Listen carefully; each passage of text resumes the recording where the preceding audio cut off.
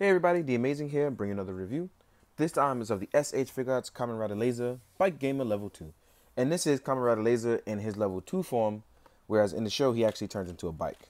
So if you haven't watched the show, I'm sorry for that tiny spoiler. But this is him as a bike.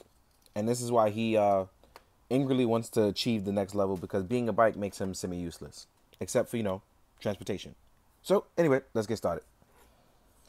The bike is actually really nice. Um, this was actually a great different motif. Um, it gives you a person who is actually a bike, which is really dope. So what they did was they were able to change the body enough so that you can see this in the belt. So that way you can see him actually change form from his level one to level two. The face actually changes to here. And it's molded actually pretty perfectly. I think that they nailed it in every which way in the bike format including the the gamer driver actually being on him. And you can still actually move it just like in the show. And it comes with two for um two actually gamer drivers. This one is actually for when a person is riding him or Ex-Aid is riding him because that's the only one that actually rode him. So this is when Ex-Aid rides him. And then you have the normal larger one. I don't know if you guys can tell the difference, but one is larger than the other for when he is by himself and it just it's on him. So it's much larger. So you can see it fits on there just fine. You can actually take out the Bike So bike Gashat just like with everything else, which is really cool. It's, oop, sorry about that. The only thing is he, and he still has this finisher slot, but it's too small for you to actually put anything in there. So you can't do the the Bakusou Bike in the finisher slot. So you can't do the Kimewaza. So that's the only drawback to that. Otherwise, it's actually molded pretty perfectly. You can still remove the gamer driver. You can turn left and turn right. The wheels actually move because, yes, it's a bike. And you still get the absorption shocks at the end, which is something I regularly enjoy on the Kamen Rider bikes because I actually have lots of fun with these. I really enjoy the bikes a lot. So the fact that a character was a bike actually made the bikes, well, not the bikes, but it made this bike really important.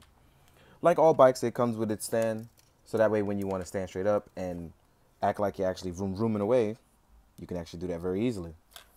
What he also comes with, with the kickstand movable and the new gamer, oh, the partial gamer driver, is that you actually get a Tamashii stage act to attach under him, which snaps under. I have a Tamashii stage here, so that makes it useful. That you can attach, so actually you can do aerial bike shots. As you can see here, I got to move it up. Whoop. So you can see it holds it just fine. The bike is lightweight enough so that it holds them in the air just fine. So with the Tamashii stage piece, it's easily removable. What you're gonna do is pull back slightly and it folds right out.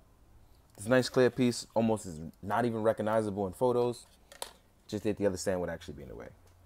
Let's move this back down. Voila. The only other thing that he comes with is driving hands for Ex-Aid. You don't actually get the hands for other characters, because just like in the show, Ex-Aid is the only one that actually really rides him. Luckily, the other Kamen Rider still comes with hands that still work just fine. You can also use these for pointing fingers, so you can point at people. Ex-Aid actually fits on him perfectly. And to put Ex-Aid on, what you have to do is actually remove the edge of the handlebars. So what I'm going to do is I'm going to put Ex-Aid on him. I'm going to remove the gamer driver here, put the other version on.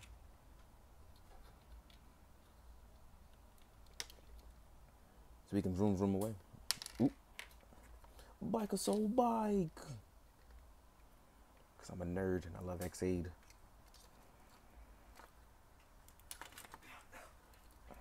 So easily, we just put the hands on, rotate them back, and I don't know why, but my Ex-Aid still has really tight joints, even after some shock oil. But maybe, maybe it's my other one. I don't know. We'll see. So excuse me as I put all. Oop, I dropped the hand, y'all. Give me one sec. Dropping hands are bad, y'all. As you can see, the hand flows right on easily. That's not really my issue. And this piece actually goes right back on very easily.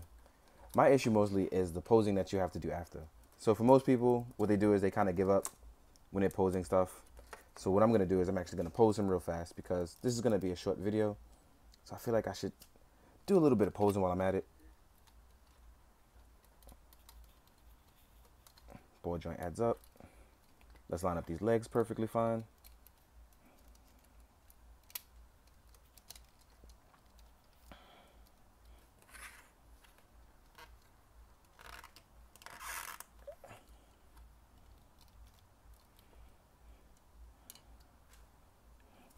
So I know you guys can't really see it, so I'm gonna adjust the camera real fast.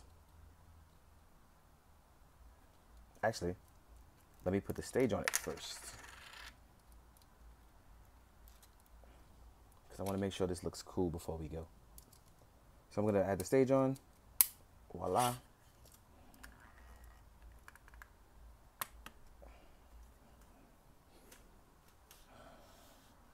And voila. Thank you guys for being with me, but as you can see, you can actually still do really cool stuff. You can actually be a Kamen Rider on your bike, and you can balance out it really well. So it's not impossible to like do cool things and still have the bike on it. So as you can see, he looks just cool and just fine. It actually works out, and it's still lightweight enough to hold up on a Tamashii stage without having to tighten it.